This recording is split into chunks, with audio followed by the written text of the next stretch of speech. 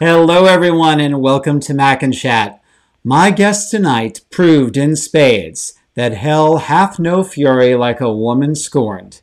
I'm sure most housewives of a certain age and teenagers will never forget the day that my guest star tonight uttered the words, I set a curse on you, Barnabas Collins. You will never rest, and you'll never be able to love anyone, for whoever loves you will die.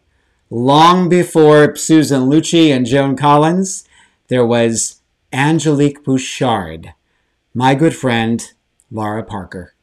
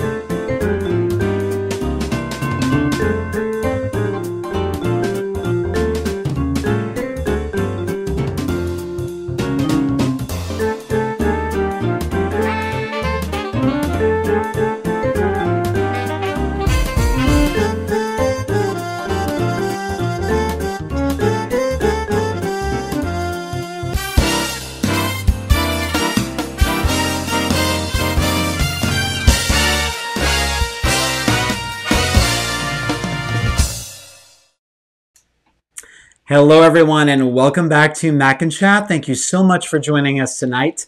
I am so excited to have this guest star with me. I've actually known her since I was 12 years old, and uh, I, am not 12 anymore. but I've had the great. It's it's bizarre and surreal uh, when you're a, an adolescent or a teenager to be watching one of your favorite television shows because you never think in a million years that the person in that little black box one day is going to be one of your very dearest and best friends. And that someone is Lara Parker, who you all know best as Angelique Bouchard Collins on the cult classic gothic soap opera Dark Shadows. So let's bring her in.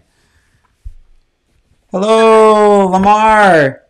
Hello, how are you? I'm good. I'm good. How are you?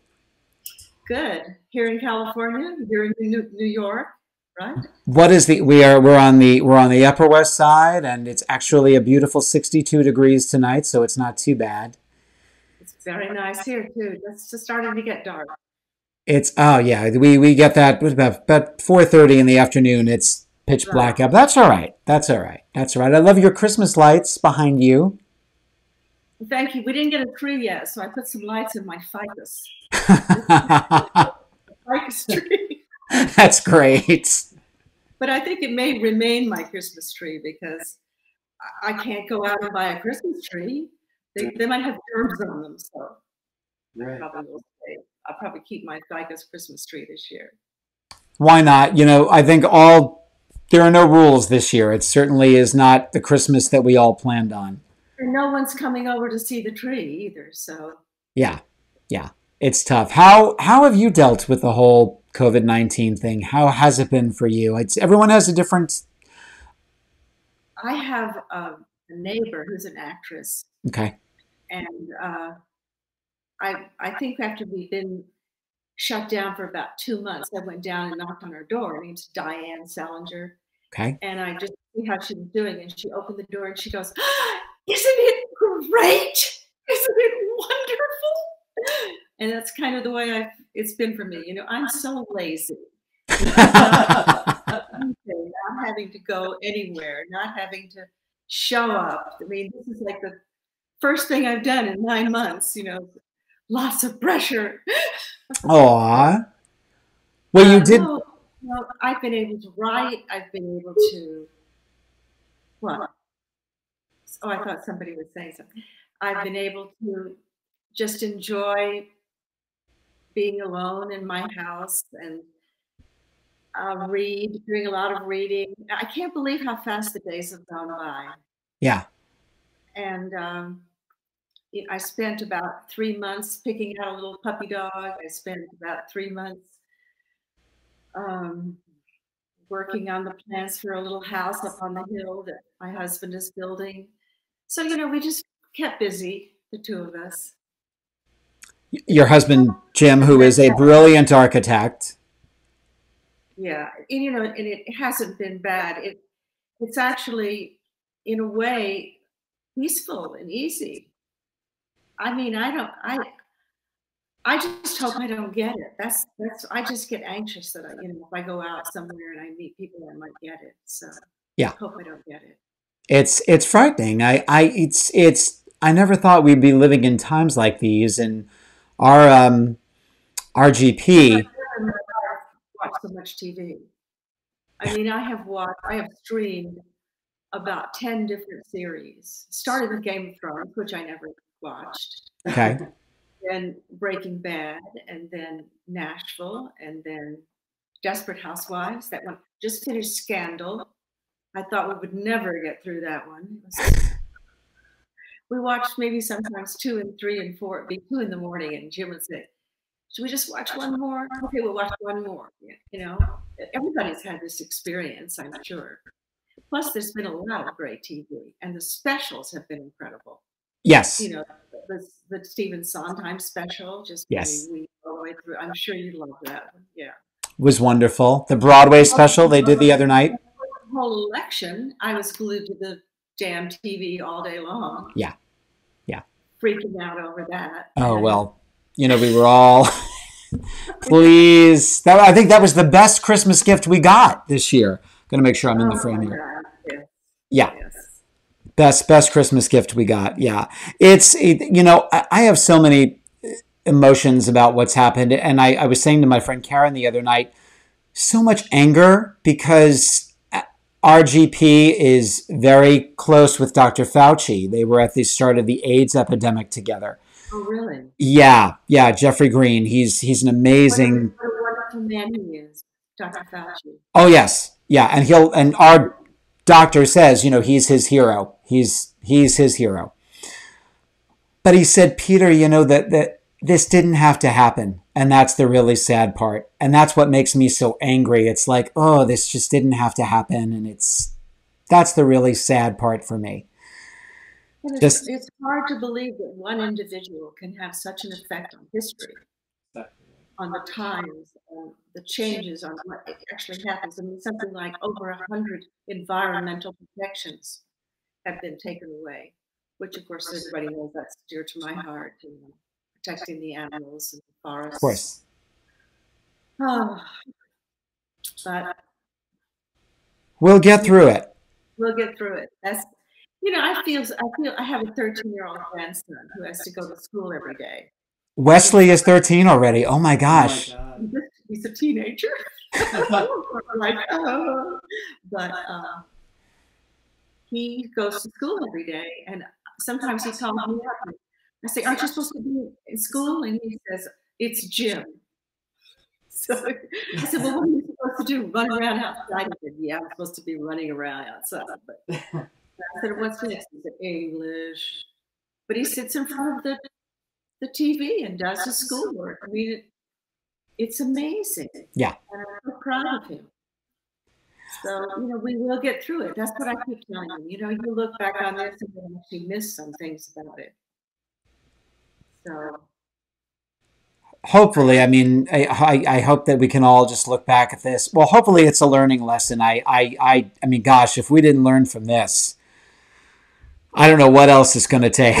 we've learned many things to appreciate. Yeah. You know, that, that, we, you know, you keep forgetting. Oh, you know, I'm out of toilet paper. Let's just, oh, we can't. That's kind of the way it goes all day long, every day. But it's hard for you because you guys had a show that was running and then you had to see that shut down. That's terrible. I mean, it must be heartbreaking well, I mean, and you know, as as a performer, Peter, you must miss it. All that love coming at you. it's you know, I've said this, and it's appropriate talking to you, but Audra McDonald mentioned this once, and it stuck in my head. Performers, but especially live performers, really are we're human vampires. We feed off of human energy. I mean, that's what keeps us going, and we are extremely undernourished. You know, um, these last ten, you know, ten months or so, it's just been to not have that that feedback anymore. And we're doing virtual shows, but it's it's just not the same. You know, you're look. I'm looking. I'm in. We do them in the theater because we're the only people in there, so we can go in and film but you're staring at an empty audience. And then later, when we're, we're piping in applause and laugh tracks, and it's just not the same. It's not the same. It's like Stephen Colbert piped in the laugh tracks. That was pretty funny. Yeah, it's. Did you see that? I don't know where it was. The symphony orchestra put plants in the seats, and they did the whole performance for an orchestra full of plants. I didn't see that. you didn't see that? I did not see. Now I'm going to have to YouTube it and see. It's got to be on YouTube. Really funny, yeah. Now, so you're from originally. You're from Knoxville, Tennessee. Well, I was born there, but I didn't ever live there. Okay. Baby, I grew up in Memphis. Okay, right. And, um, so I'm really a Southerner. Um, tried very hard to get rid of my Southern accent, but you can hear it creep in every once in a while and uh, moved away. Lived five years in Iowa. I went to, uh, in Wisconsin and went to school in Iowa, graduate school in Iowa, and then I went to New York. And I'd been there two weeks got the part on Dark Shadows. Because you were living, you I know you um, in a piece you were you were you were living in Whitewater, Wisconsin. Wisconsin. I had two little boys. Lived on a farm. Um, wintertime sounded fun because uh, you, you talk about you know going in the sleigh and, and and singing jingle bells at the top of your lungs. We had a sleigh, and uh, this horse was a quarter horse. So you know, a quarter horse is meant to turn if you lay the reins on the side of the neck. It'll turn that way. That's how you turn a quarter horse. Do you know what I'm talking about? Yes. Yes. Okay when you put the quarter horse in a sleigh, there are these things called thills that stick out on either side of the quarter horse. But since he was not a trotter, he was a quarter horse, this thill would lay against his side and you turn that way. So actually the sleigh went like this. Wonderful story. We went out one time and uh, it was snowing so hard. It was so beautiful that we decided to go across the highway down this beautiful little country road. And we didn't realize that the back of the sleigh sheltered us from the wind. So we were in a kind of little box. And me with the two boys, and we did, we sang jingle bells and then trotted along. And finally, it was getting dark. It's time to go home. So we turned the sleigh around. And then we realized that the snow was coming right at our faces and we couldn't see. We could hardly even breathe. So we just buried, put the blanket and buried ourselves down underneath the blanket, and the horse took us home. He knew exactly where to go. It's and wild. He took us down the road, across the highway, into the farm, into the barn, and we got out, and his face was completely covered with snow, and his eyelashes had little icicles on them. Aww but a horse will always go back to the barn. So that's one good thing. So we made it home. We didn't freeze to death out in the snow. You were in luck. Now you do you remember when you got bitten by the acting bug? There was one thing you said in in uh, once upon a time that I was 13 years old. I'll never forget this. And you said something to the effect of, I, I wanted to put on pretty dresses and pretend I was a princess. That's why I became an actor. And I, I remember putting the book down and going, Me too. you wanted to put on pretty dresses too. exactly, exactly. So I thought, oh, okay, Angelique is on the same page as me. well, I wanted to be a performer, but as opposed to you, I could not sing. I tried people say, honey, don't sing. You can't carry a tune, don't sing. We sang together, though. We did sing together once. I thought, well, maybe I'll take ballet. And the ballet teacher said, I'm afraid you're in the back row. We're also glad we have you in the class, but you are in the back row because you can't dance. so I don't know. I thought I'll be an actress because you don't have to be able to do anything. that was my thought when I was.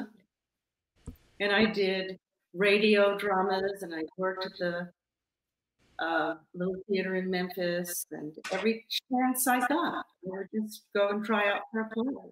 But I always wanted to play the ingenue. So when I got on Shadows, I thought that I was the ingenue. I've told people many times, you know, I thought that I was the heroine. And Jonathan Frid playing Barnabas, who was playing the vampire, said, you know, you should really stop moping crying and acting so down in the dumps because you're not the heroine. And I said, No, I'm not. And he said, No, honey, you're the heavy. Which was a big surprise to me. And he said, You've got the best role. Don't you realize that? There's thousands of ingenues, but there's only one villain, and you're the villain. I couldn't believe it. I was shocked. I said, Well, I don't I don't know. I've never been jealous in my life. He said, Oh, just dig deep. You'll so I started feeling Angelique's jealousy and her her desire to hurt people who didn't do things her way, and, and really that that's when the role took off. But it worked. It it worked because I think part of what really made the character work. It's almost what happened with Jonathan. I mean, him saying. Well, I don't want to play a vampire. How do you play a vampire? There's got to be something more to this character. And I think the audience and obviously the writers picked up on what you were doing and wanting to be the ingenue. And so it gave Angelique more layers rather than just being a witch. You're exactly you, right. All of the characters on this soap opera, which I think this is one of the reasons it did it was so successful and that it still has a fan following. All of the characters had two levels. There was an under level, an understory, that created a tension. Yeah. So the vampire was not just an evil, you know. He, he, was in pain because he had to go and buy someone. You had, you had you felt sorry for him, and you know how you you're always pulling for the loser. If yeah. You, you watched a football game where you didn't really care about teams, you didn't know very much, and you start pulling for the losers and then they get ahead, and then you start pulling for these losers. it's just so. I mean, I really felt that to play Angelique as a witch would miss the whole interesting element of her character was that she was heartbroken and in love and desperate and not even a very good witch and certainly not a very good lover because she shouldn't hold on to her boyfriend. she, was, she, was, she was she was someone that we pulled for because you felt bad for her. Yeah. And then when she got in there and she started pins and dolls and people went, ah! That's great. It was great. I'd look at them act. I I did that. I did that. It, that's one of my things. And how many of us, eh, you know, because right, we're supposed to be good and we're supposed to but there's I'm sure for for all of us, you know, we, would like to be able to pull out that doll and stick a couple of pins in, in a few in a few people. It's it's it's in all of us, and I think that resonates. Um, it's like when the car behind you on the road honks and then pulls around and shoots ahead of you. Hope you crash. People off the edge, die a painful death. yeah, there's a little Angelique in all of us. There, there, there really is. There really is. I think that's a very good comment. I think you're right. Now, please make an honest man out of me here, because recently, if you go onto a Dark Shadows fan board, we we some of us can duke it out. We, you know, when it comes to, well, I heard this happen and I heard this happened. I adore, as a gay man, I adore Grayson Hall. I mean, she's a patron saint for me, as she is for many, well, gay, bisexual, whatever you want. Kinsey Four over here. um, but she was a little terse to you in the beginning, wasn't she? Because she was pushing this other actress for the part. So wasn't she a little on the cool side? apparently she had another actress she was competing for the role. Yeah. I don't know who the actress was. And she was a little pissed when I came on the show. And I was very inexperienced. I'd never done professional television, whereas she was quite experienced. You know, she she nominated for an Oscar. did she win? I think she she did not win, but she was nominated. Yes. I mean, she did a lot of film, and yeah. she knew what she was doing. Um, and you know, she intimidated me. She, you know, very very strong personalities intimidate me. Yeah. So I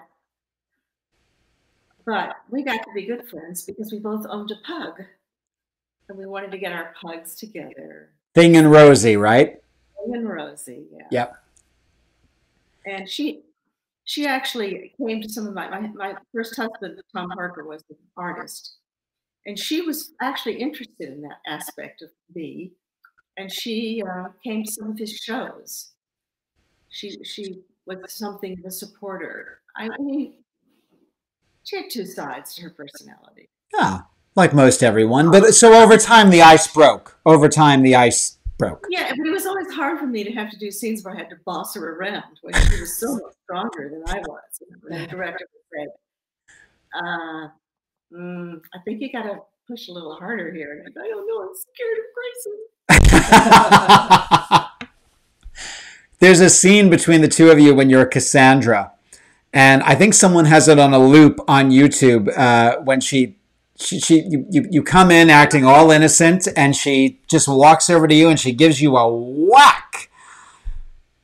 And you say you're going to be very sorry that you did that and she just gives you that steely glance and walks out. And someone pretty much has that on a loop on youtube. Just that that you know, she, she played her scenes with her your her face like this? Yeah. Those cheekbones I always wondered why she did that. And then I said, Why do you lift your chin? She said, Catch me alive, darling.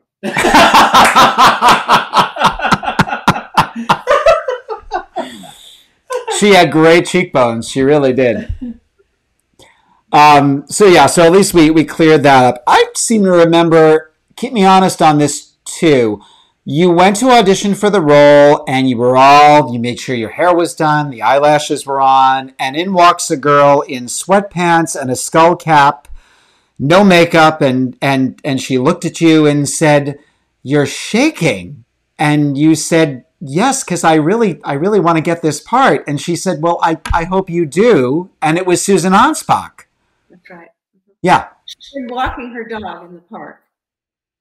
She looked wonderful you know windblown tendrils, some little stocking cap. We were in the bathroom, you know, anxiously, she was like, you know, ah. and she did. She said, "Well, I hope you get it." Aww. She, she didn't want it. She didn't want to be on a soap opera. Whereas I was out of my brain. I was so I wanted it so badly. Yeah. But and here's the deal about that. You know, it, and it's I don't know if well I guess it's changed now. I know at one point people did look down at soap operas, which I've never understood. Um, it's incredibly hard work. I mean, especially we'll work with other young actors, and we have a 14, usually a 14 day rehearsal period. And they go, 14, two weeks, that's not enough. I'm like, I have friends that used to do a network soap opera and learn a new script every night. That takes nerves of steel to be able to do that but it doesn't make you good. well, I mean, it makes you facile. You know, it makes you quick. Not well. The, okay, true, but but still, I mean, as an actor, you have to be prepared. I mean, if you've ever done a full re- rehearsal for a play, you know that about week two, you begin to find levels and subtleties and all kinds of things that you didn't know were there when you first began. And it's one, one of the wonderful things about doing a whole rehearsal period with a play. Yeah. Is, is, is to reach the point where every second is filled with the light that, you know, that's kind of been discovered in rehearsal. Yeah. Time, tone. Whereas um, with Dark Shadows, it was we just a lot of times we just it's amazing we got through it. It really is. I mean, sometimes we forget where we are. We people forget their lines. People things would fall down. the fly, the fly would come into the shot. Our styrofoam gravestones would fall over when we walked through the, you know, bushes. Prop men would fall to the back, and mics would come down in our shop, and we were just kept going, just kept going. So it was, um, it was, it was. We got to be quick, yeah, facile, but not really subtle. But the other part of the soap opera is you have a character that develops over time. Right. And they write for your character, and they write for the things that you do well, and which they expect you to be able to pull off. And so that there's a kind of synchronicity that goes with a long run that you would not get in a play. Yeah. Well, you in a different way. And you know, it, they write for your, your your gifts or your what would you call them? Your special talents. Sure, your attribute, and and again, what you bring to the role, they start to bring to the character in the writing. Yeah, so that it works for you in that respect. Yeah. Um, but it is hard to do three rehearsals, uh, go down on the on the set, and you know block for camera, which is long and tedious because they had to get their shot. We went by the. Um, a dress, but lots of times we didn't have, we'd skip the dress and go right to the performance. And they would come and tell you um, right before you did the performance that you had to speed up or slow down a certain scene or that you had to touch a certain scene. And you not only had to remember your lines, but you had to remember your blocking when you had these things where you had marks. And if you weren't on the mark, which was a piece of tape on the floor, if you weren't on the mark, you weren't lit because they lit for the mark. So you see the actors walking around, return to your grave. or you could see the eyes on the teleprompter. That was another big thing. I'd be doing these long spells. There was a witch, these long incantations. Right. Fire, candle lights, and things. And, you know, I call on the powers of darkness. I call on the depths of evil. uh, where are you? You know, you see the eyes wander over to a teleprompter, which was a moving piece of paper with all of the lines that you had to say typed on this piece of paper, and it moved over these two rolls, and a person moved it and that person would I don't know, get in a conversation, and it would go too fast, and you look at the teleprompter, and your lines weren't there at all. But crazy. Yeah. But you got through it, and and and I, the girls were better than the guys. The girls pretty much remember their lines. Jonathan Frid had a very hard time, but. And, and and it worked for the character though. It's it's that faraway look in his eye where obviously he was probably just that was all part of the Barnabas. He was tortured. He was panicked. He was terrified. He was stuck. He didn't know what to do, and it all worked for the vampire. It yeah. all worked for his character. It worked for his his agony and him to go and fight somebody. It played very, very well, and I just could not believe it sometimes. Because I'd be in the scene with him and he'd forgotten his lines. And then I'd watch it the next week and he was mesmerizing because yeah. he's actually in agony. you know what I'm saying? He didn't have to invent it. He was actually feeling it because the teleprompter wasn't there. He couldn't remember his lines. He said one time he was doing Richard III and he forgot his lines, just started doing Henry V.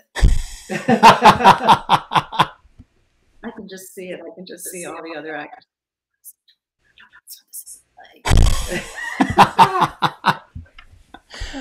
Was he? Um, do, do you have fond memories of Jonathan? Do you have oh. over? You, I know you said at your audition he really put you at ease.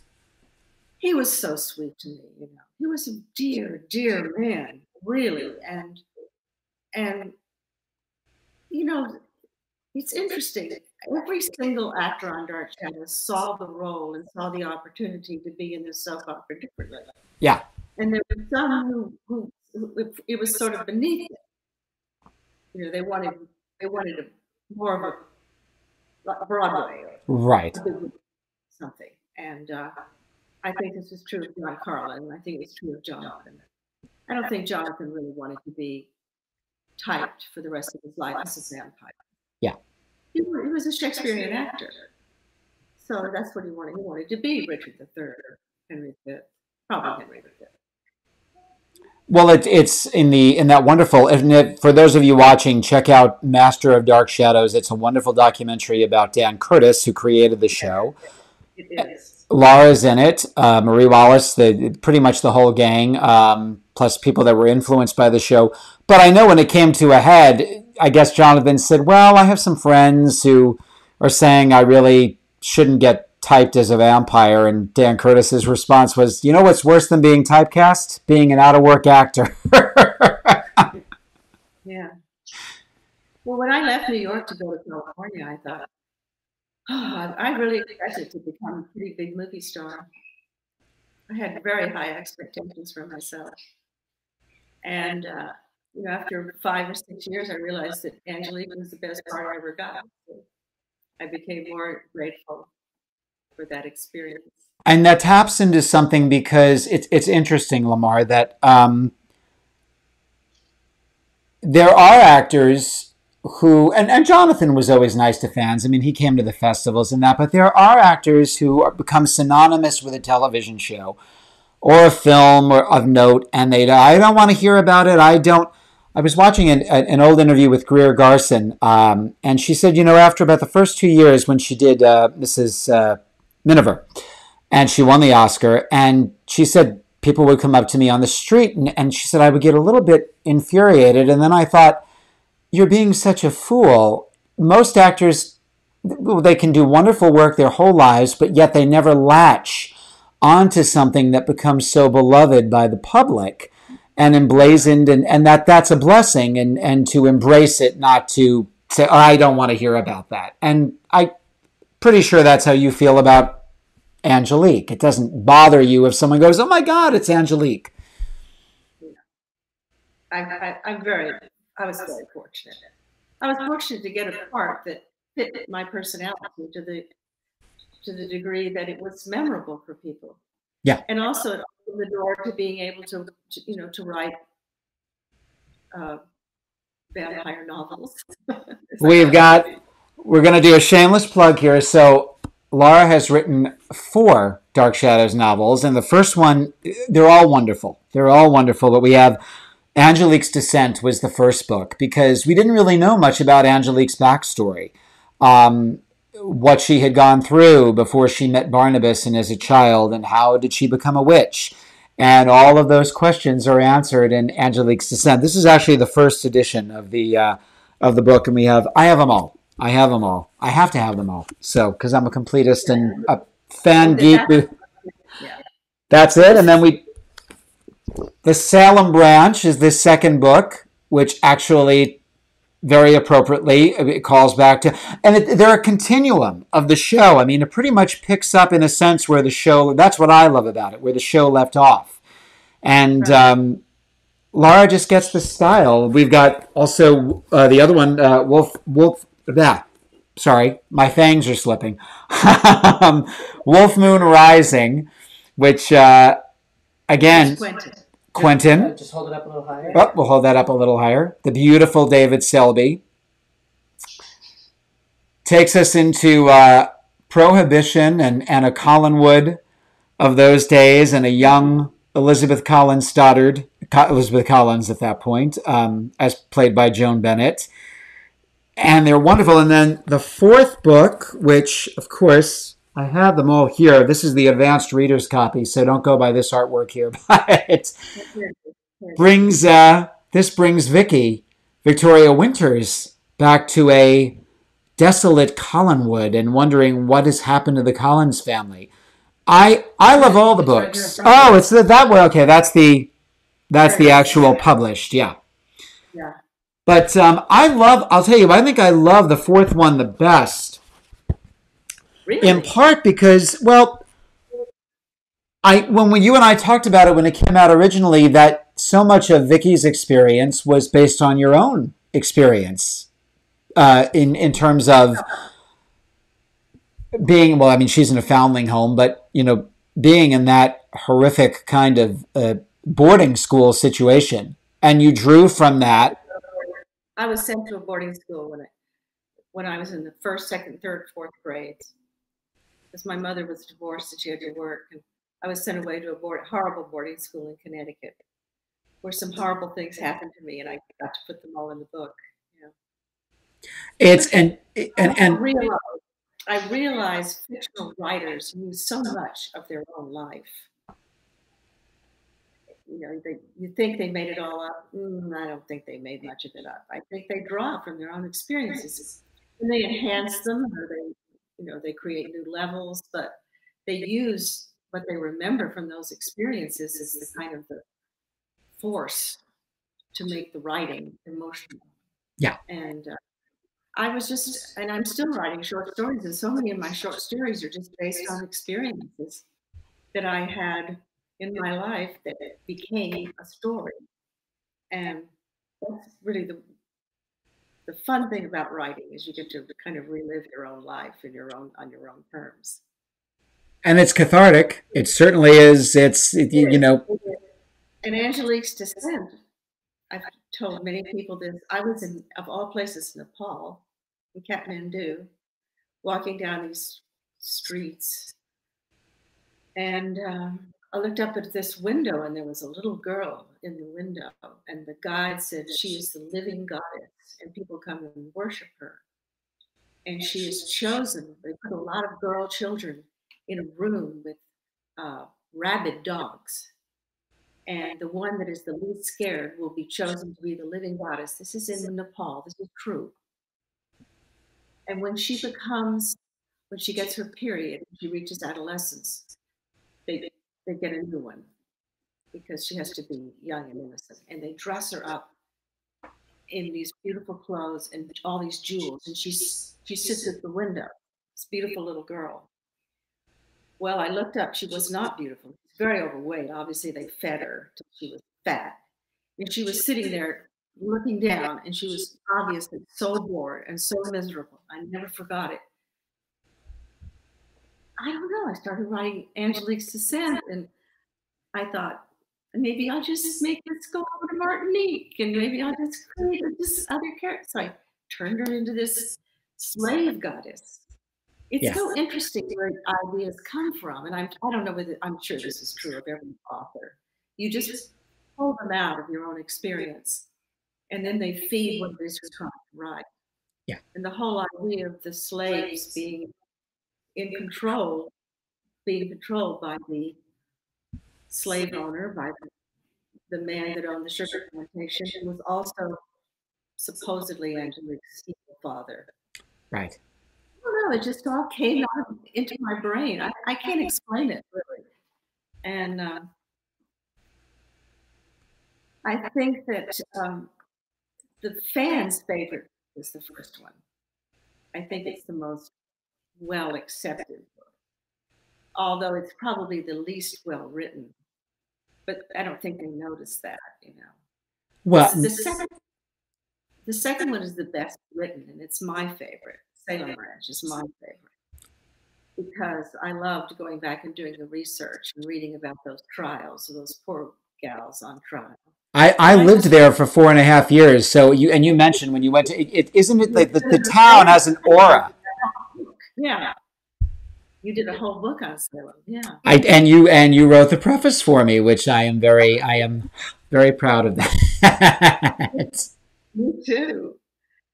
But um, I had I did I loved doing the research and I, I just was so intrigued by the idea that she was a witch and she really was a witch. Whereas yes. all those that were hanged were not witches. Right. They were just old heretics they wanted to get rid of. So that fact that she had power she had to hide. And then I came across the other, what if she flew? You know, what if she could fly? But she had to, she couldn't do it. She couldn't fly. She had to stay on the ground. If anybody saw her in the air, they know she was a witch. I don't know. I just loved that whole idea that she, you know, that Angelique. And then I became, I became just so enamored the idea that she was born again. Yeah. It was the same. It was Angelique. So, squeak, squeak goes the. Are we okay? Are we good? Yeah. Hang on. There we go. Yeah. We're back to normal. Yeah. New York City internet. Um, and then bringing it into the. I also felt that in every all four books there is an, a level of hypocrisy. Um, of course, the slaves um, were horribly mistreated, and then Salem Branch, the, the whole witch trials, the the, uh,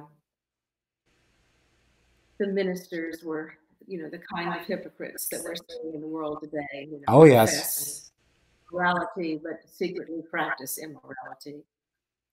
And then we got to the 20s, and what a wonderful period that was. And someone just suggested to me, you know, what if, what if, uh, you know, Liz had been, I don't know, one of those gals in the 20s. But what fun that would be. And then I got to the whole pro- prohibition thing and realized that all the wealthy people had all the liquor they wanted. And a tremendous amount of hypocrisy among the prohibition laws. And then, of course, uh, the last one, I started to, to, to take the, the, the gypsies and how the gypsies are looked upon, have always been looked upon and looked down on in the world. And Yeah. I think the gypsy idea is a fascinating idea. So I did some research on gypsies what, what their life was like to, to live as nomads and to be, you know, prejudice and hypocrisy go hand in hand, like there are two levels. And that's always been my theme. That's the theme I'm mostly drawn to. Is I like to I like to write about that because I think it's the thing that angers me most in the world is hypocrisy. We're all supposed And there's a lot of it. but yeah. And it's it's well, one I know I was asked when I mentioned that we were going to be doing this interview. This is the only one we don't have an audio version. So are they? Are you thinking of doing an audio version of the of the Heiress book? Once everything's safe. You're so funny. Uh, they have not offered it. We'll start a Facebook page. Raise your hand and someone will give you a part, right? Or raise your hand and someone will give you a job. No, that's how it works. Of course, I would have done one, but you know, they had, they probably didn't sell all that well. You know, if they didn't sell, they didn't make a good one. with all with all due reverence here, uh, and for anybody watching, you know, they're doing, and she's reading them beautifully because I I adore Kathryn. But if they can do all of the Marilyn Ross paperbacks, which barely have anything to do with Dark Shadows, they certainly, you know, It that's doesn't, it doesn't matter. oh well, it matters to me and a lot of us. That pardon my language. That The really fun thing about this book yeah is it's written in first person. And I think that's why most people like it because first person is so accessible to the reader.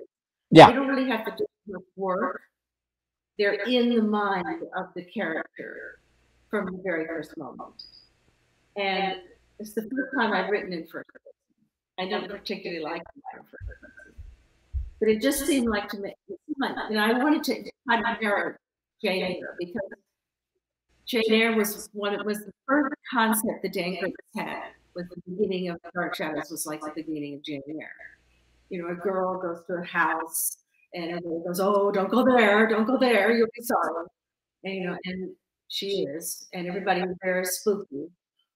And her whole thing with Mr. Rochester, you know, the mysterious man who was who's terrified her that she grew to love, he grew to love her. I love that story so much, Jane Eyre. Yeah. And I just, I would, I would, it would just be interesting if I tried to work that in. It's told in the first person, so um, it's fun. I mean, it's fun to you know, I've always written what's called close third, which is third person, but you are inside their brain. Yeah. Uh, you know, I talk from early experience, but anyhow.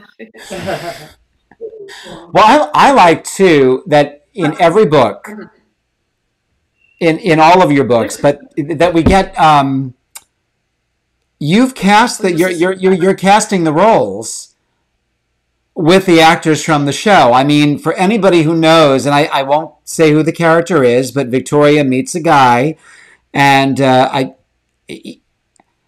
he's she meets him at his office, and he has a stack of Hershey bars. Oh no, that's there, David. That's there, David.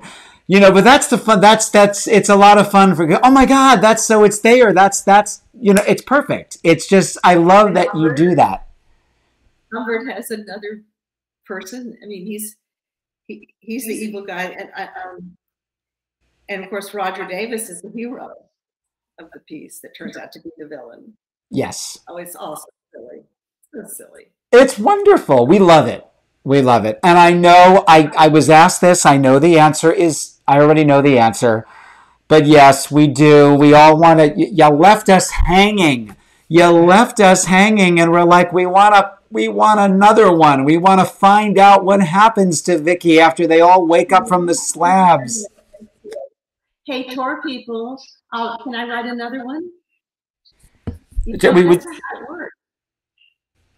I've proposed another one. Oh my God! Yay!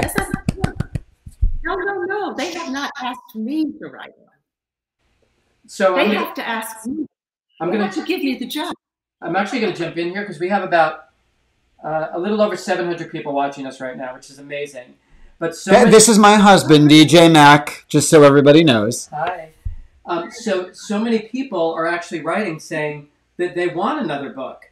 So I think we should start a, a writing campaign. Is that okay with you, Lamar, if we do that?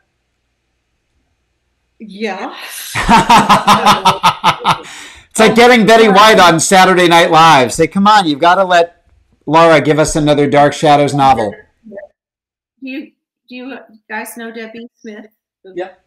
She's a friend of mine. She actually she uh she read all four books and gave me a lot of advice and gave me some ideas. She gave me some wonderful ideas.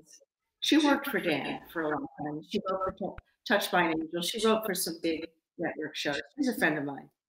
She came up with an idea, which I thought was a great idea, which would be to take all the characters and go to the Old West and write a Western, a real Western.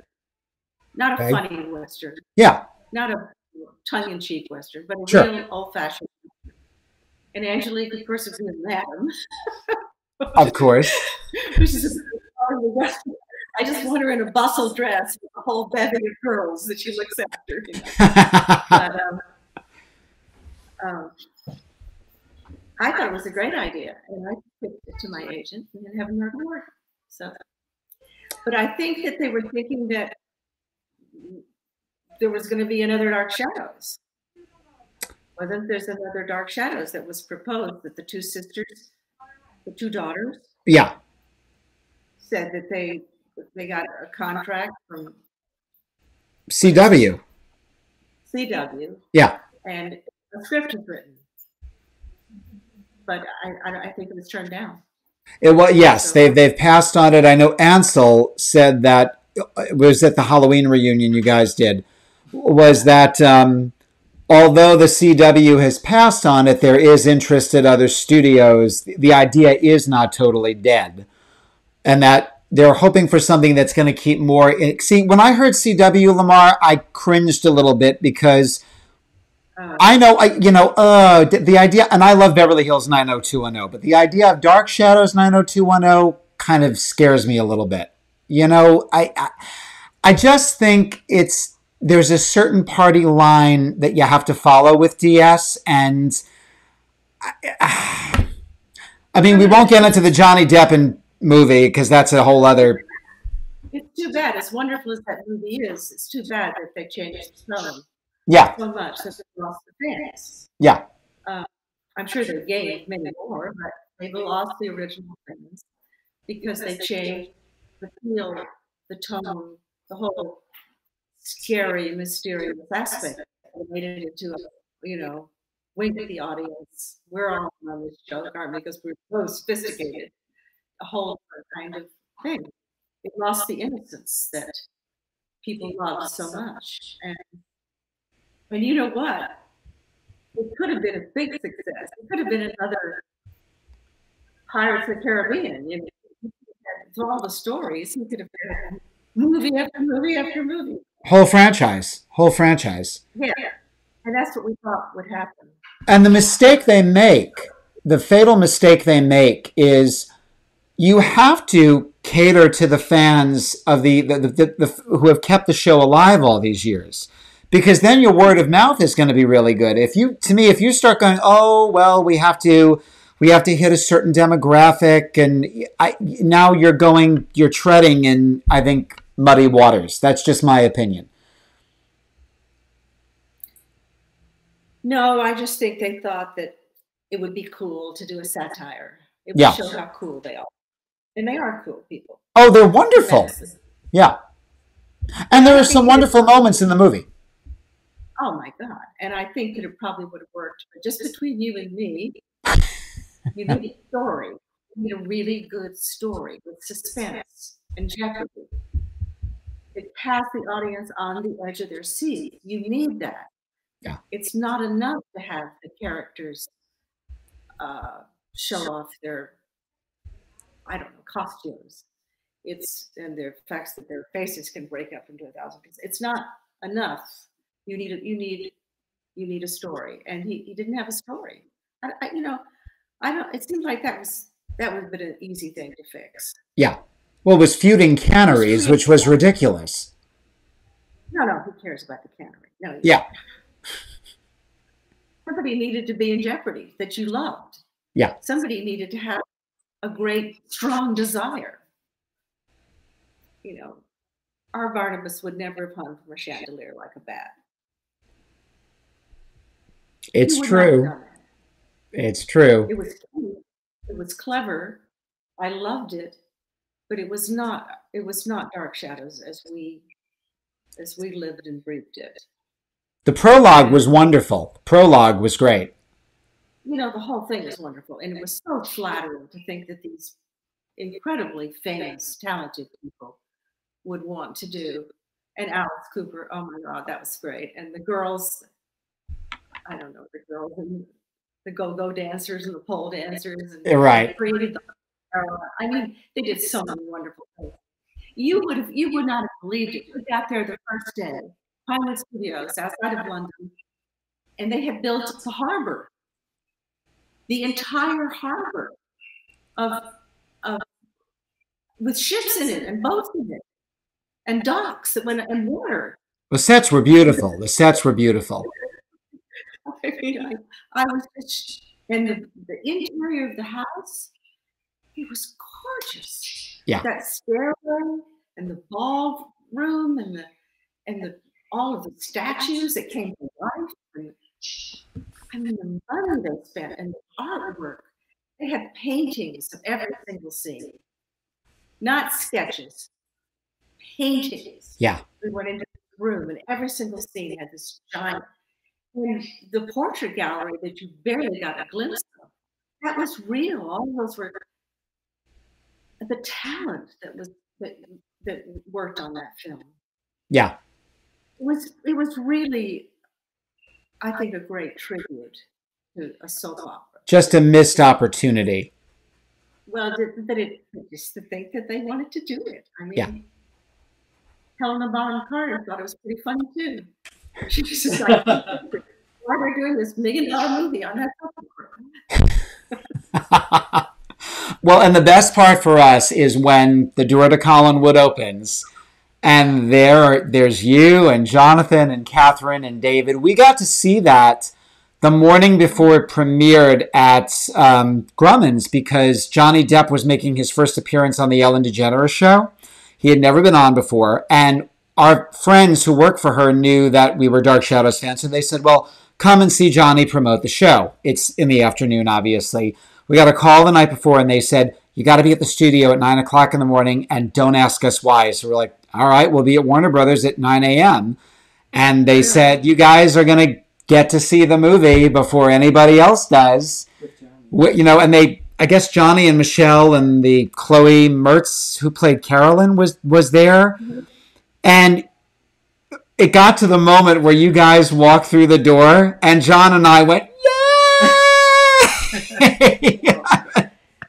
Everybody was like looking at us, but you know, it was really cool. That whole part of it was cool. Yeah. really was. And So it's um, but you know, it didn't it didn't do anything to hurt Dark Shadows. I mean, because now it's on Tubi TV and Pluto and Decades and it was on t- Friday night. yeah, yeah. Yeah. So watched part of it. what what what was what's what's been going on? I mean, then there's Dark Shadows TV and Amazon Prime, and it's you know. Do you know what? Here's what I want to ask you. You got to kiss David Selby. You got to kiss David Selby, and you got to bite Joel Crothers. You have no idea how jealous that makes me.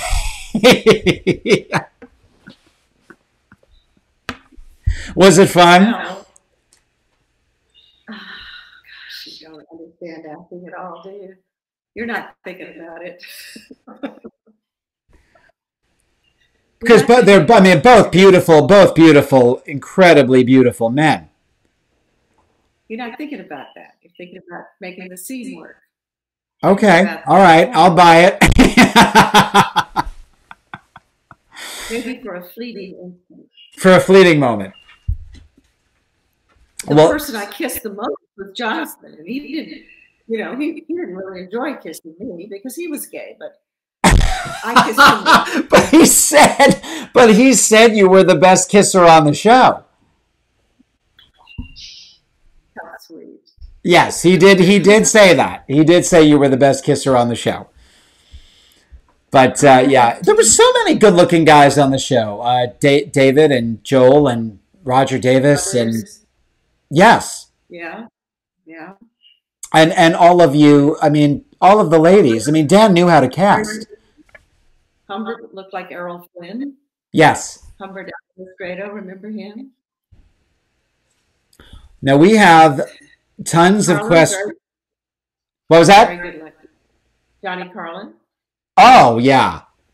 I always thought I always thought John Karlen was a very sexy man. I, I, I, I thought I thought he exuded a lot of sex appeal. No, he did. Yeah. And we miss him. He was always fun at the festivals. Peter, sometime we'll have a private conversation when 700 and something people aren't watching. Yay! Just us. Just us.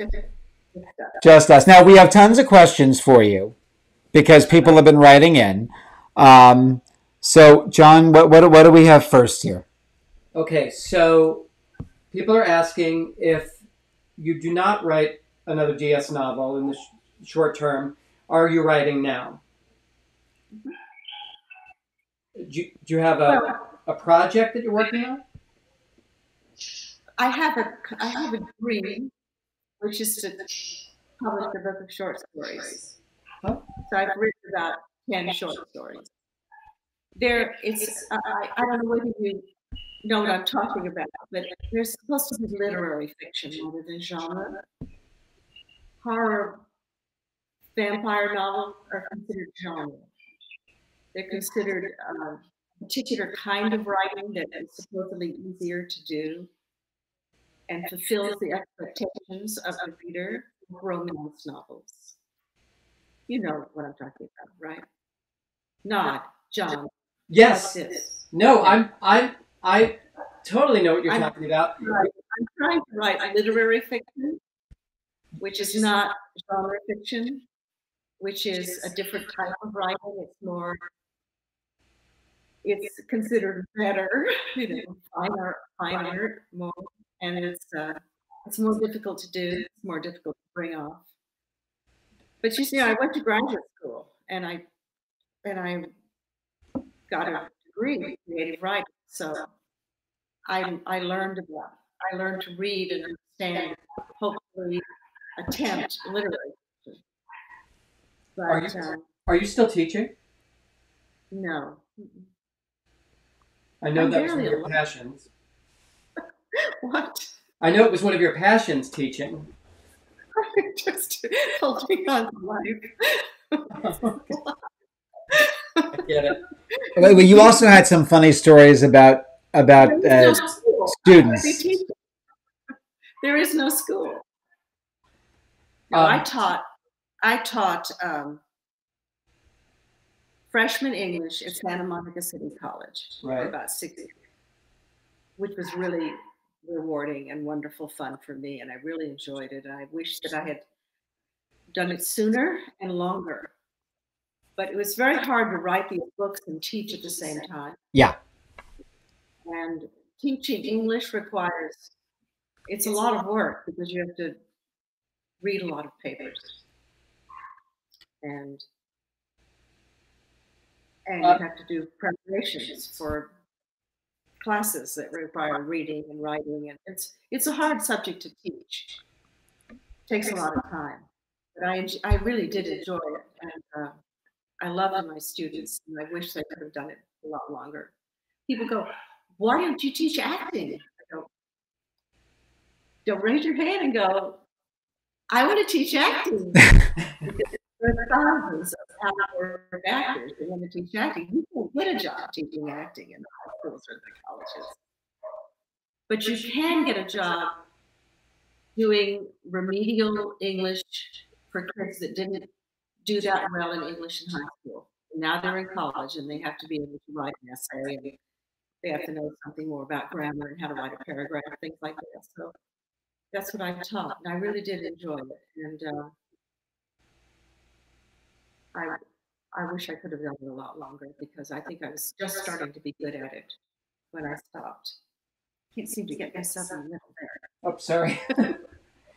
I, I keep pressing the camera buttons. It's all my fault.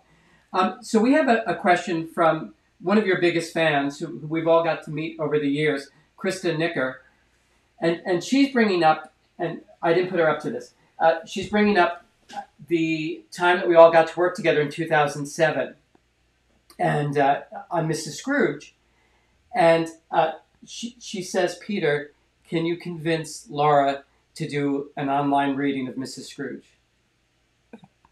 Well, for those of you who don't know this, I did. I wrote a a, a modern day version of a Christmas Carol called Mrs. Yeah. Scrooge, and I wrote it especially for Lara.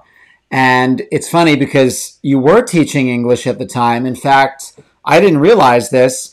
You had just finished grading midterms or something, and, and you learned the script on the plane.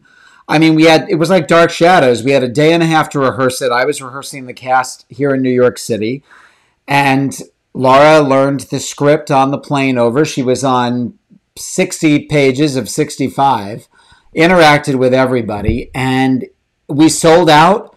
It was a lot of fun. I got to uh, I was I wrote it and directed it, so I was playing the nephew. I was playing Fred, who Mrs. Scrooge had shunned aside. Um, it was great because I got to sing to Lara at one point towards the end, and I'll never forget our last day. We had a matinee and a nighttime, and during the matinee performance, Lara started to tear up, and we talked in between shows. And I'll never forget this. You said to me, uh, you, you said, you know, thank you, because I, I really realized during the song that you really did do this for me. And it's true, I did. I wrote it especially for you. Uh, and my Mrs. Scrooge was based on a horrible boss that my husband had in, in, uh, in the world of computers. Unlike Mrs. Scrooge, she never redeemed herself and became good at the end. But um, if, if Lara would ever do a virtual online reading of Mrs. Scrooge, I would love to do that with her. That's totally up to Lara. Uh, we, have Thank you, Krista. Thank you. uh, we have another question from Deborah Collins, and uh, she wants to know. You don't have to do this, uh, but we three people have asked it, but Deborah was the last one. Uh, she wants to know if you can do the laugh. Peter's doing it right now. this is not Angela. Okay, it goes like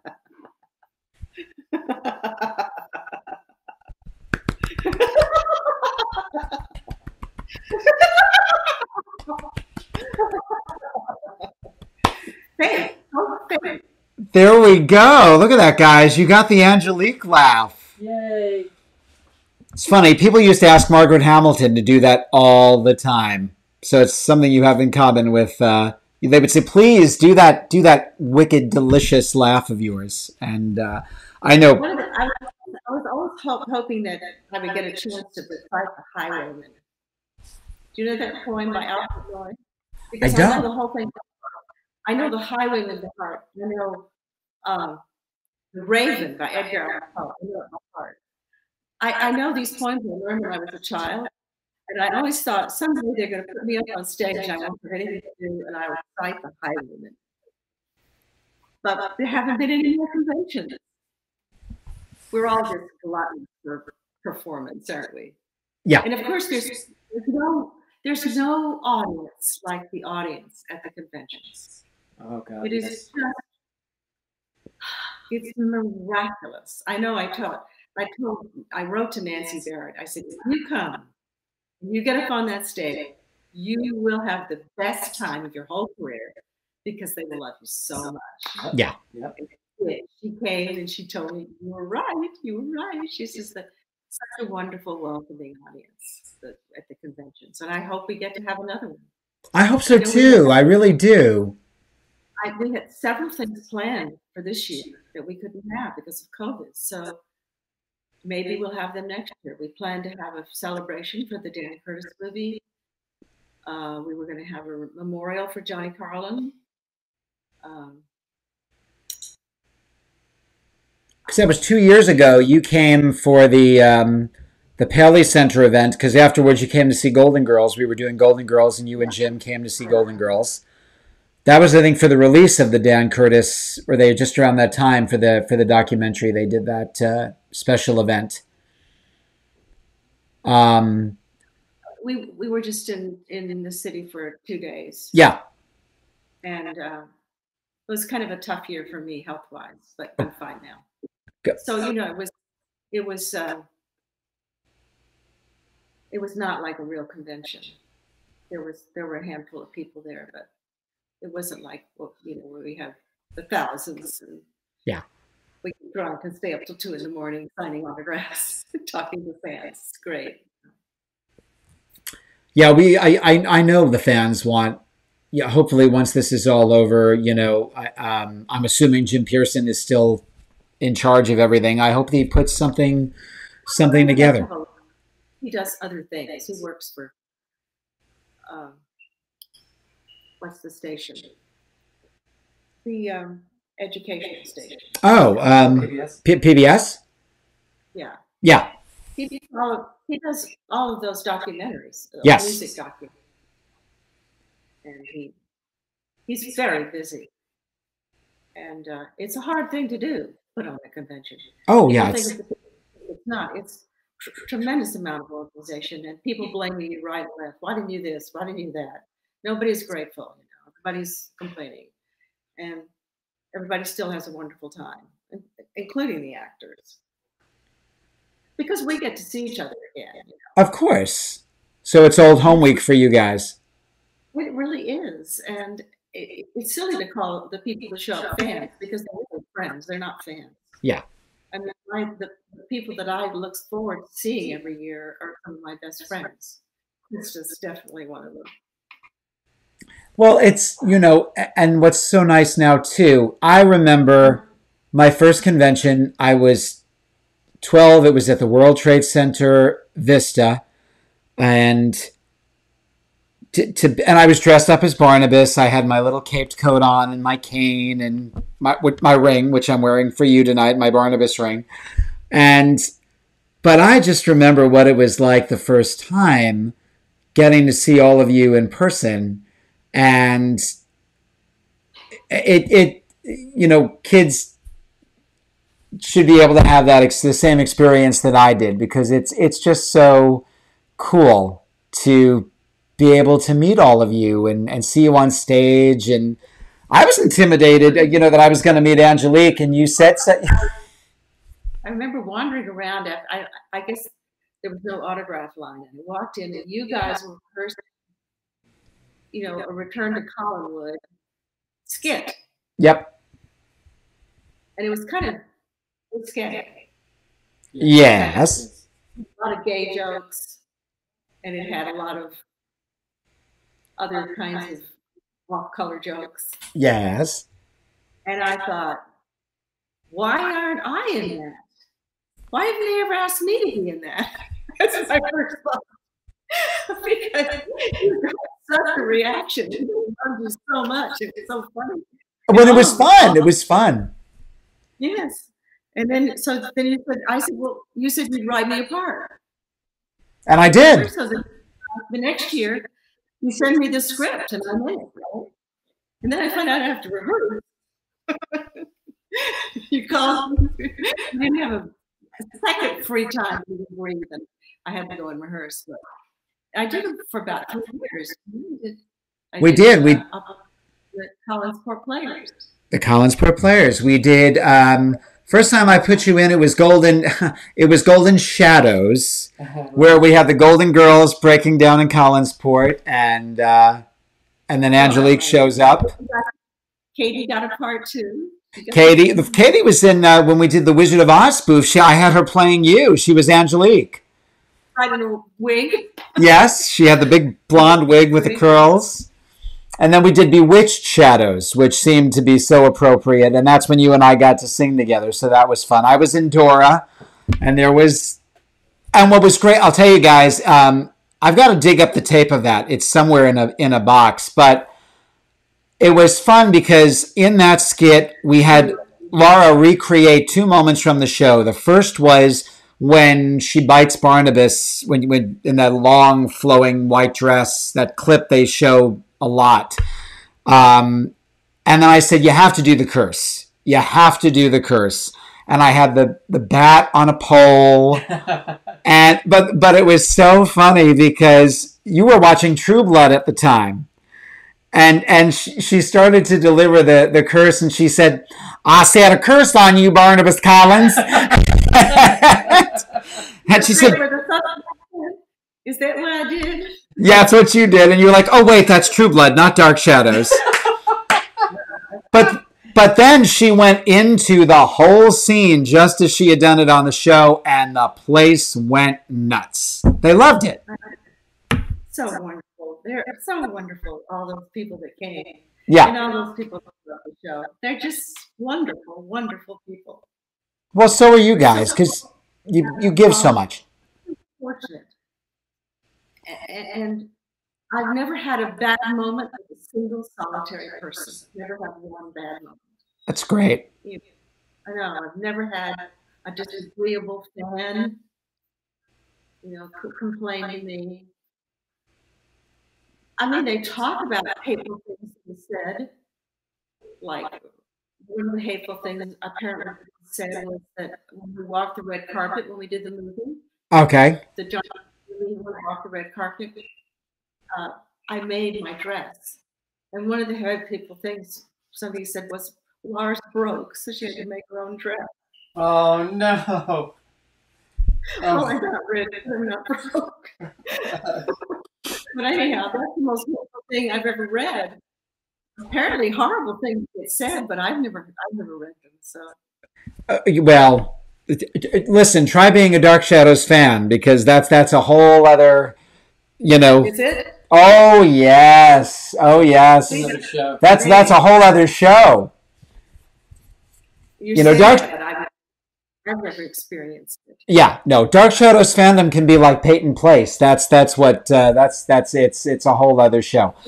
We have- people. Yes, everybody's got their idiosyncrasies. Of course, of course. We have one, another question. Oh yes, question for Lara. Question for Lara. Uh, so we, we have a, Dr. I want to introduce my puppy before. yes, yes. Yeah, we want to see your puppy. You've got to see Lara's puppy. She's beautiful. we'll Wait for the end.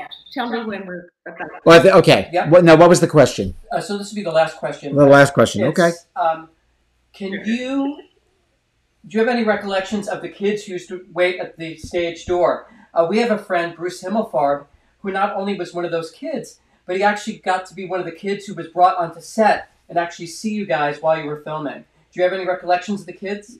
Oh, of course. Oh, yes. There were always people waiting outside the her legs caught in my there. Aww. Yes, there she is. Look at the camera. Look at the camera. She's beautiful. She's sweet. She's an Australian Shepherd. Oh, God, so cute. And she's eight weeks old. Eight weeks old. Those eyes. She has Angelique eyes.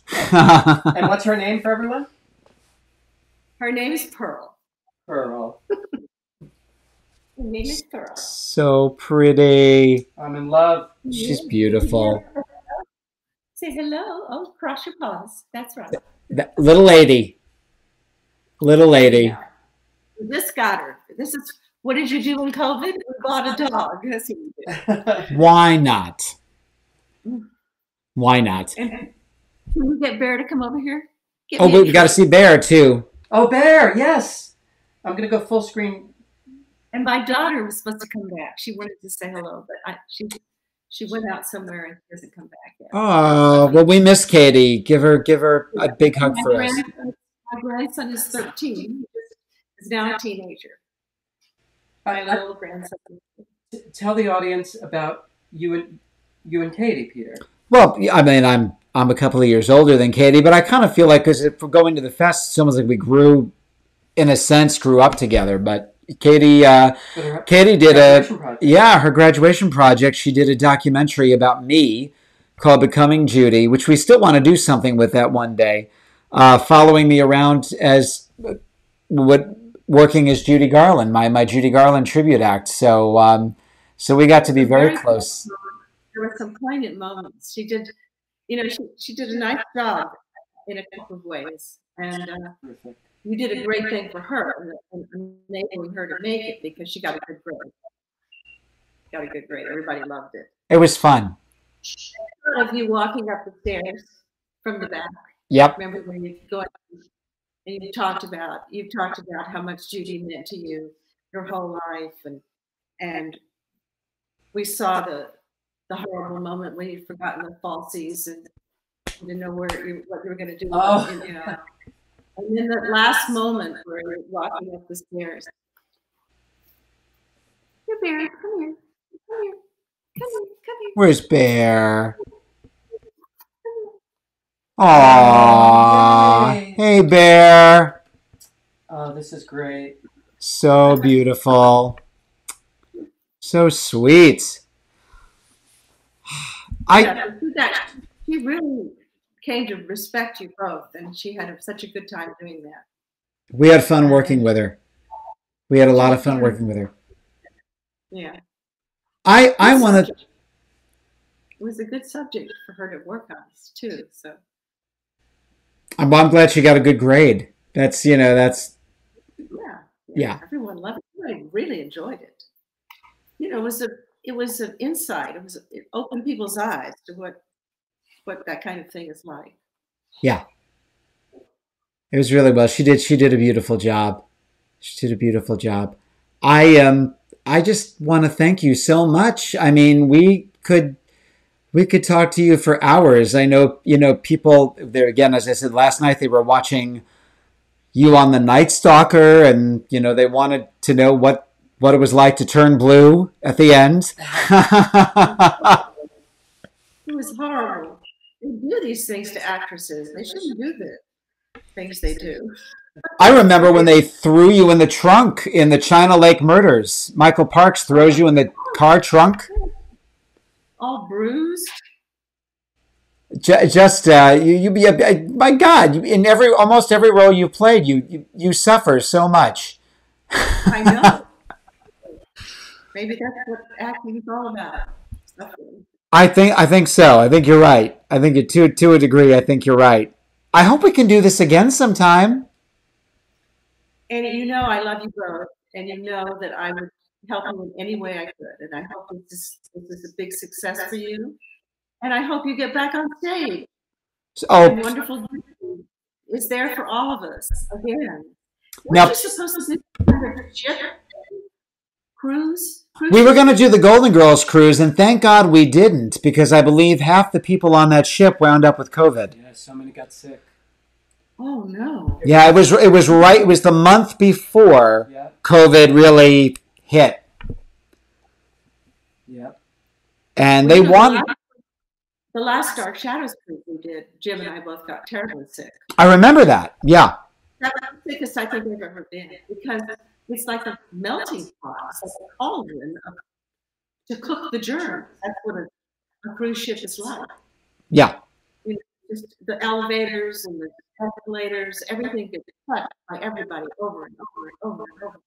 And they're It's already not like- they're already talking about new cruises, and I'm like, how can you be talking about new cruises until this thing gets, you know?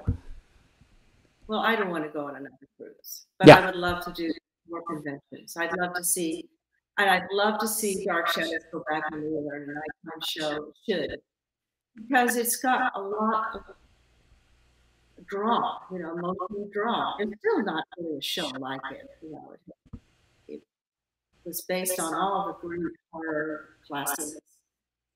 It was, you know, very, very interesting piece of work, and I'd like to see it happen again. I really would. I don't want to be in it. I'd like. Oh, now you're disappointing us. You wouldn't you wouldn't do it if they said, "Come on in and have a recurring role." what did I say when you wrote me and said, "Will you on my show?"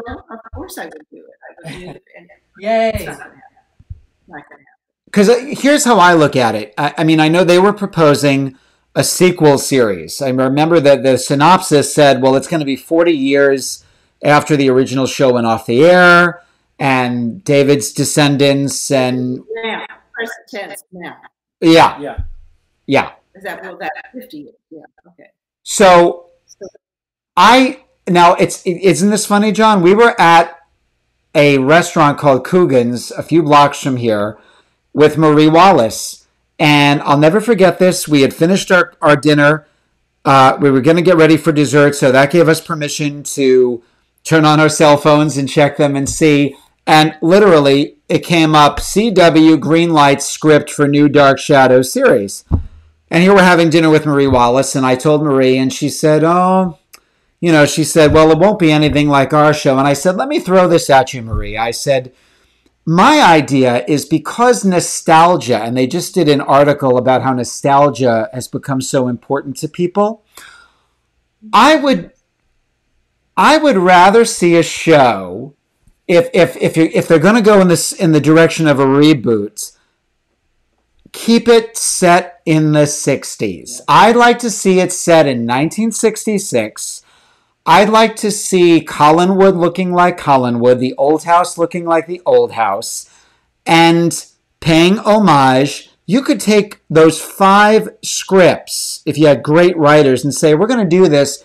We're going to give it the edge that Dan Curtis wanted when he did the NBC series, but let's still make it a costume piece because I think part of the charm now is yes, when you guys were doing it, those were the styles.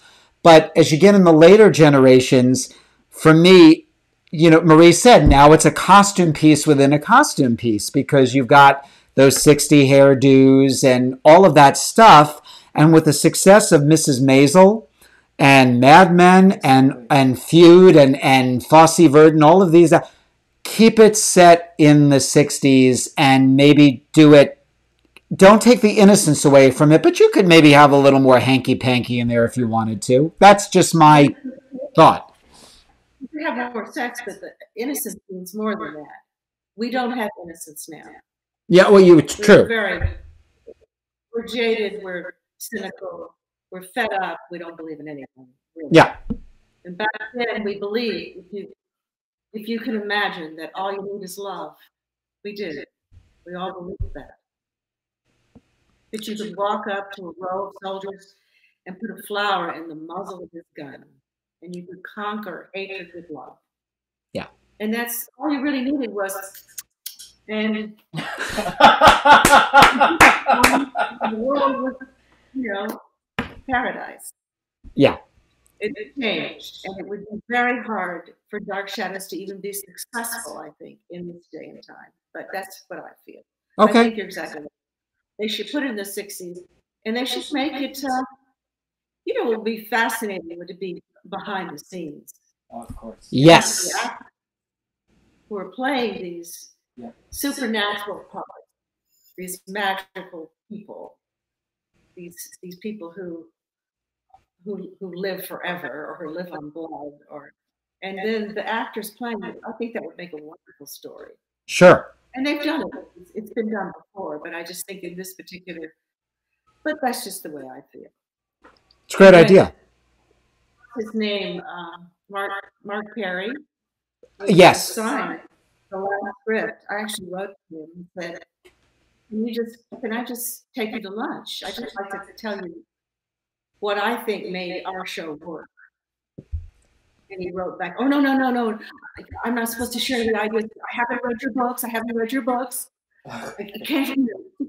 That's hard. He couldn't even talk to me because then I could turn around and say, "You owe me money for Zion," something like that. Come on. That work. So maybe he was right, but I just I, I wanted to just sit down and tell you know so there is some there is a kind of secret made Dark Shadows work, and I know that secret. I know what it is, but he wasn't interested. So That's unfortunate. It's unfortunate for a variety of reasons, and I didn't, want anything. I didn't want anything, not anything from him, not credit. I didn't want to write. I didn't want credit for the ideas. I just wanted to talk to him, essentially about tone. It's also wanted to talk about- with with this stuff, and I've said I've been saying this for a long time. I wish that whether it's Ryan Murphy or uh, Netflix or whoever, all of these books would make wonderful limited series.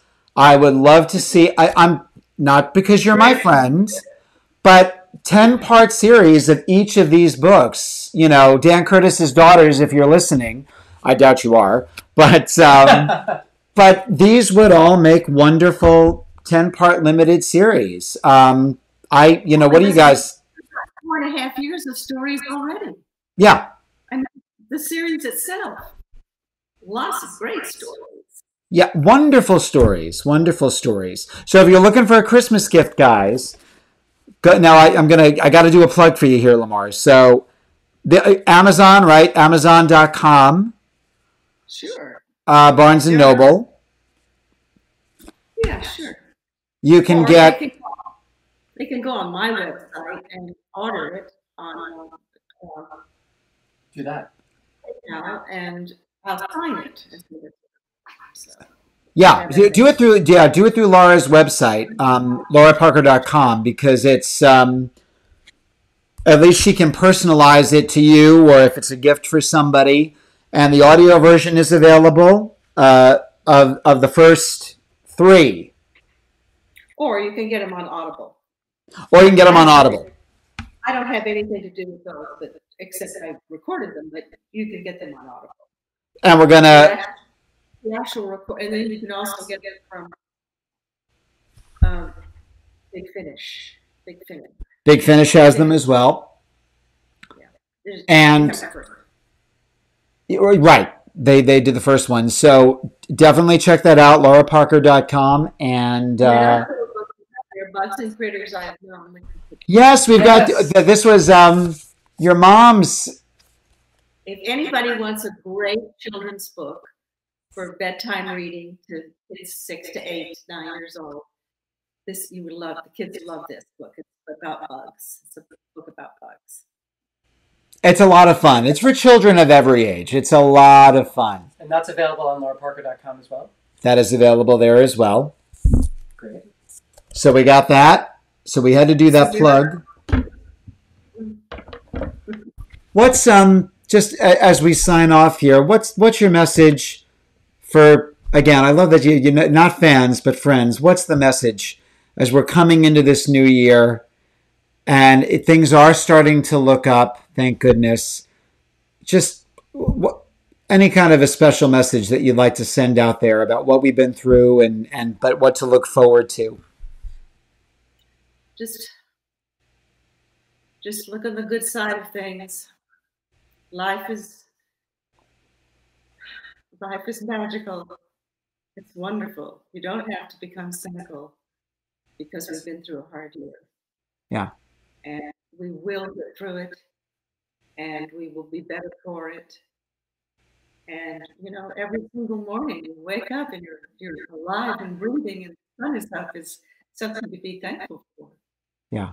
And we can also be thankful that we have a new president. With uh, Yay!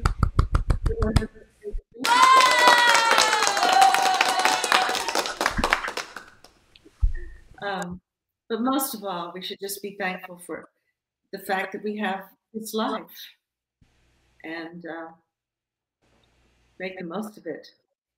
As my my my son Rick says, you have a good time. You might as well have fun. You know, you might as well get the most you can out of your life. Exactly. Don't. Don't give up. And I know it's true of a lot of people had a very hard time. If you've lost your job, God forbid, you've lost where you live, can't pay your rent, you know, move in with your parents. just kidding. Um, just you know, partner up, find a way to, and uh, tell the government you're both. They'll give you some money. Yeah. I don't know. I'm very fortunate. I'm very fortunate that I, I'm, you know, that I, I have a SAG pension because not everybody has a SAG pension. So, you know, I'm glad that I have some. I have an organization that looked out for me for because I was an actress. Yeah. But I, I, I do care. I feel, I feel, I feel bad for. I feel bad for kids that are in their early 20s or early 30s that have a lot of dreams and a lot of plans, like you and John, and things were going good. Where you know, my daughter was starting a business. You know, to have to give it all up was was heartbreaking. It's heartbreaking, Yeah. especially when you just got the ball rolling. You know, you just got to kind of got hold of things. Yeah. But life itself has many, many, many, you know, many opportunities. There are many dreams, and some of them will come true for all of us. I think if we just hold on to them. I don't know. I, I'm not really a philosopher. I prefer to speak. I prefer to say what other people say, and you know, I can't really think of my own. I'm not a preacher, but um, I do think that you know spring will come, and when it does, we'll all have another chance to go at it again. Yeah. That vaccination, we'll all get out there and we will have to wear the masks, and or maybe we will have to wear them. We'll still get a chance to get back, and open the restaurants. I mean, I've been out to dinner one time this entire year, once. Us too. So Yeah. um, learn to cook. Can't think of a better My daughter- time. My daughter's turning me into a vegan of all things. Oh, Avocado. I know. Well, she says it's, make, it's, it's the only way to go because you get healthier if you if you're a vegan. well, you got me hooked on avocados. You realize that? what? You you got me hooked on. I that was the first time I ever had an avocado. Was at your house. Unbelievable. Oh, they're so good for you. Oh, and I now I, I eat them like they're going out of style. But yes, you got me hooked on those. They're they're you know I, I eat them with everything. We really shouldn't eat animals. Some the animals are so wonderful. We should eat them. It's true. It's true. It's true. But everybody loves the hamburger french fries. I know. I know. I gotta yeah, I gotta get my fix every once in a while. I too. You know, uh, for everybody who's watching, we you, we we all love Lara so much. She's such an important part of the Dark Shadows legacy.